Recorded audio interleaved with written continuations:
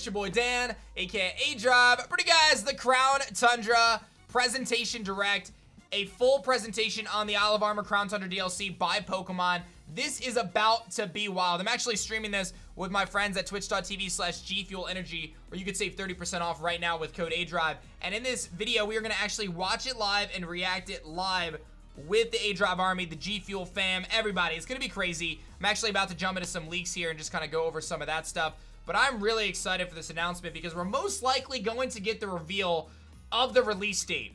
And that's one of the biggest question marks right now is what is going down with that release date? Is it going to be today? Is it going to be mid-October? Is it going to be November like we originally thought? And there's some rumors that this presentation is about 11 minutes long from kind of a Google Cache type of archive type of thing that's kind of demonstrating that this presentation may be about 11 minutes long. So this could be pretty significant amount of stuff. If you guys are seeing this on YouTube after the fact, be sure to like the video and make sure you guys subscribe to my YouTube channel. I post Pokemon videos every single day and YouTube actually tells me that over 50% of people who watch my videos are not subscribed, which is crazy. So you might not be subscribed and not even realize this. So just click that subscribe button.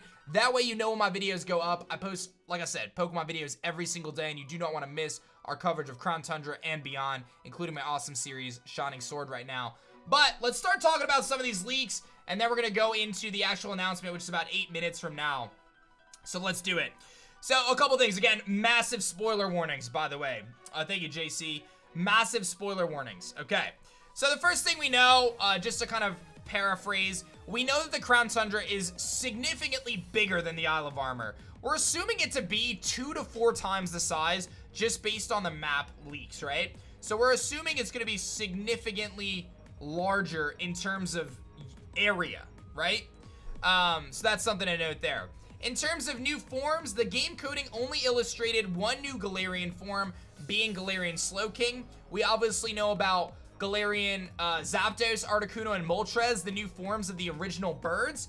And we also know about the fact that there's going to be two new Regi forms, Regieleki and Reggie Draco.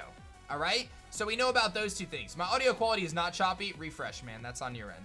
I assure you my audio, audio is not choppy. All right? So we do know that we're going to have those two uh, new Regiforms, Regieleki and Reggie Draco. The other thing we know about through leaks is that there are two codename Pokemon, codenamed White Horse and Black Horse. We believe those Pokemon can fuse with Calyrex. Calyrex, the new legendary mythical Pokemon. I don't actually know. Is it a legendary or is it mythical? I don't even know what the classification of that is.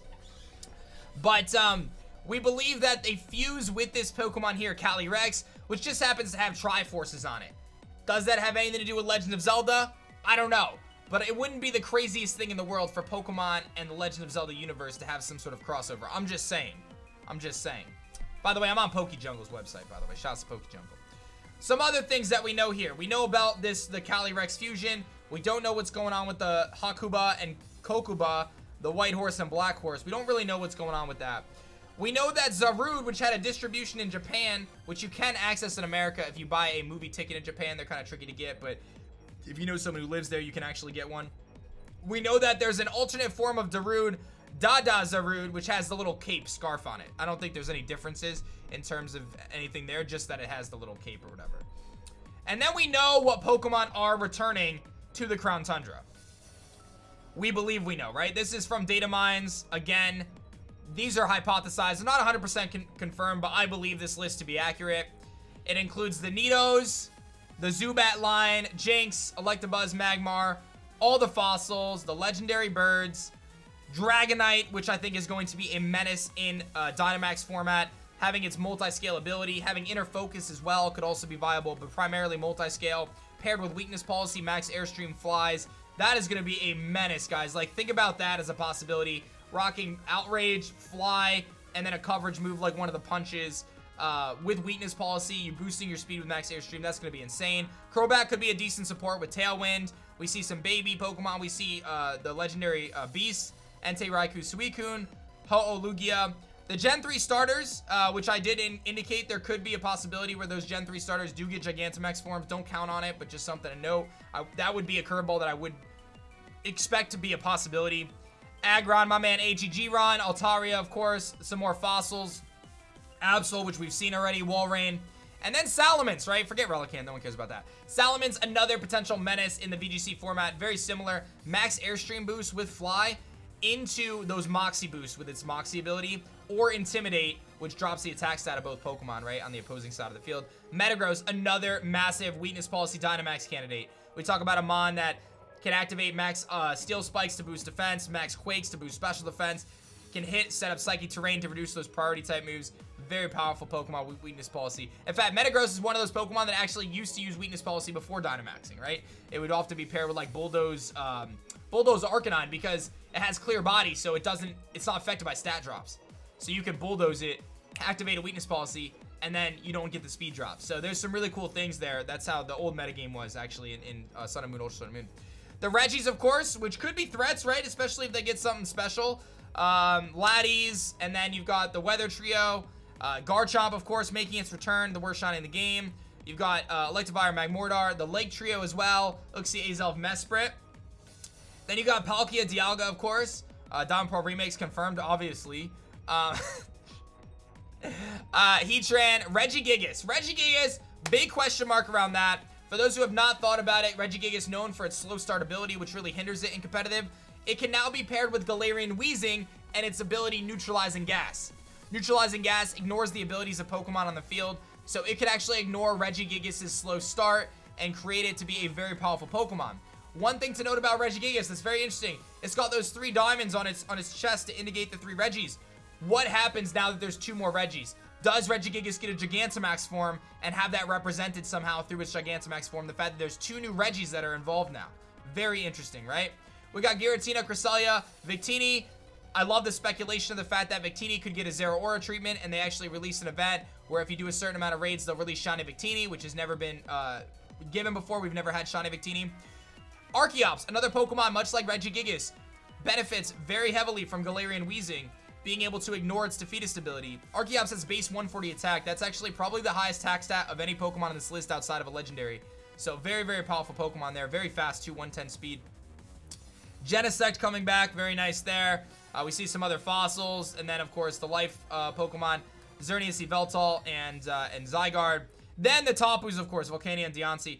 But the Tapus, right? And, and I'll talk about that in a second. And then the Ultra Beasts.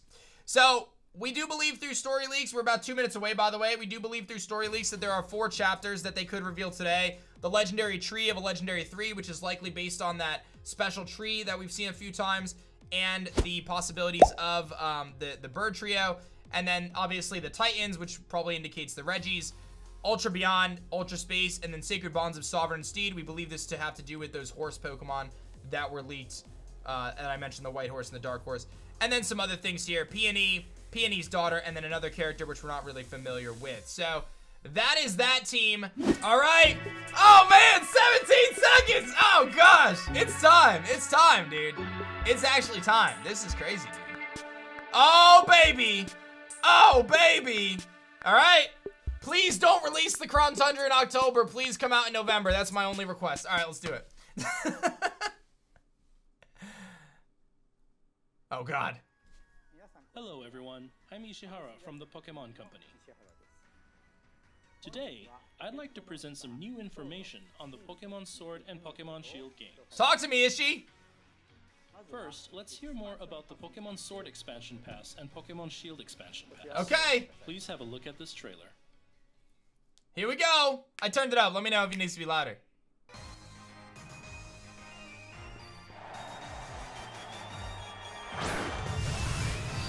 Okay.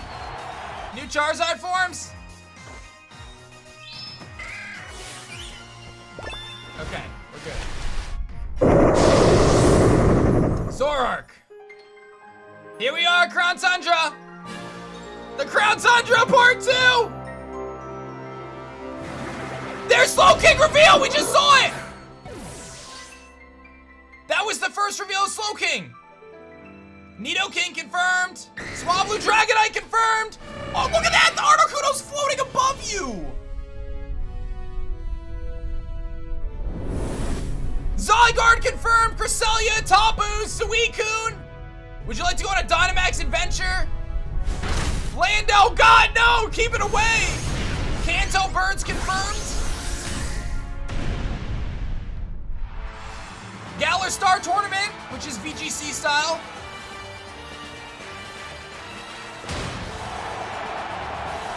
Oh, snap. And Clara's there, too.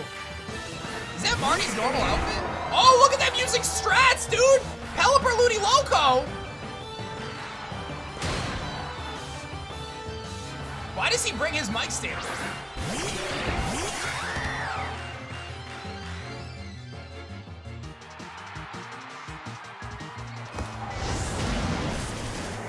Crobat tailwinding, bro.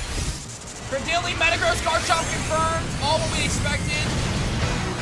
Mewtwo confirmed, obviously. Oh, wait, looked tight, though, not even gonna lie. Wow. Sunsteel Strike. Oh my god, the birds, though. Regieleki, Draco. Pokemon Follow You confirmed, which we didn't know. That Slowking looks so dope. November, November, November. They're not gonna tell us yet, are they? So what did you think? Let's take a closer look at the new adventures awaiting you in the Galar region's Crown Tundra. In the Crown Tundra, the second area unlocked by your expansion pass, you'll explore a snow-swept expanse with new faces and new adventures. There, you'll meet Peony, who will put you in charge as his expedition chief. Your investigations will take you across snow-covered hills and into a Pokemon den, where you'll reach depths beyond those that max raid battles have taken you to previously. That's a But feature that that's I'm really not all that interested in. awaits you in the Crown Tundra. Lots of legendary Pokemon call the area home, too. It looks like your adventures in this wintry land will give you an opportunity to obtain every legendary Pokemon that's appeared in the main Okay, series of Pokemon games so far. Some are exclusive though. Many of those legendary Pokemon seem to dwell deep inside a special layer where Dynamax Pokemon are said to lurk, the same layer you can explore during Dynamax adventures. Team up with three other trainers to explore these caves, Interesting new UI. battling wild Dynamax Pokemon as you make your way into the depths. And there's more. After adventuring in the Crown Tundra, you'll have the opportunity to form a dream team with some of the other trainers you've met in the Galar region for some red hot battles in the new Galarian Star Tournament. You'll be able to pick a partner from among trainers you've met in Pokemon Sword or Pokemon Shield, and the game's respective expansion passes. Yo, I'm teaming up with Mustard. Depending on who you team up with and who you face in battle, you might glimpse new sides of these familiar friends and foes that you didn't see on your path to becoming champion. We hope you'll enjoy your new adventures in the Crown Tundra. You'll be able to start exploring part 2 of the expansion passes, the Crown Tundra, on October October 22nd. 22nd. What's more, on November 6th, we'll be releasing all-in-one bundle versions of the Pokemon Sword and Pokemon I don't know how I Shield games that that. include their respective expansion passes. For anyone who hasn't visited the Galar region yet, this will be a great opportunity to come explore. And to celebrate the release of the Crown Tundra, some special Pikachu are on their way to you.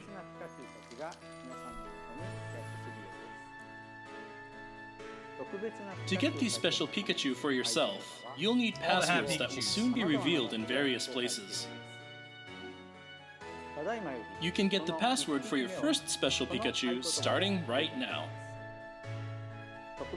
Enjoy your ongoing adventures with your new Pikachu friends. Next, we have some news about Pokemon Home. Pokemon Go connectivity finally? The There it is. long-awaited link between Pokemon Go and Pokemon Home is coming. With this link, Pokemon you've caught in Pokemon Go will That's be able big. to set off on an adventure in the world of Pokemon Sword and Pokemon Shield by way of Pokemon Home. What's more, if you send a Pokemon from Pokemon Go to Pokemon Home, you'll be able to open the mystery box in Pokemon Go Opening the mystery box will cause the mythical Pokemon Meltan to appear on your map in the app. You'll also receive a mystery gift in Pokemon Home Finally! containing a special Melmetal that dude! capable of Gigantamaxing. Oh man. A Melmetal like this it. hasn't been available until now. Oh man. Continue your adventures in the Galar region with this special Melmetal Wow, and unleash its the powerful G-Max move. That's been like We're leaked for planning so to have long. the link between Pokemon Go and Pokemon Home all set up before the end of 2020. Okay. Please stay tuned for more updates. That's all the new information about our games that we have for you today. I do have one last announcement for you though. Uh oh. To help commemorate the release of the Crown Tundra, we've made a special music video for you all. Oh, this was there a a team music effort video. between Pokemon and the popular Japanese rock band Bump of Chicken. So, I'll wrap things up for today by inviting you to have a look. Please enjoy the video. Uh, do I mute this? We got the uh, we got the the Galarian Slowking here. Obviously, legendary Pokemon uh, from past games are back. That was a big one. All legendary Pokemon are, are returning. Uh, it does seem as though the leaked Pokedex is confirmed. Obviously, the 22nd, uh, which is. Uh, I'm upset about the October release, I've said, because of my own personal situation. I'm in the middle of moving this week, and I'm simply, I had a lot of plans for November that I'm not going to be able to do in October. It's, it's just simply, it just completely throws off all my schedule. But it is what it is, man. There's nothing I can do about it. If you enjoyed this video for me, I'm sure you're gonna love this video right here. However, YouTube thinks that you're gonna like this video. So check out one of my two videos, and I'll see you guys on the next one. Peace.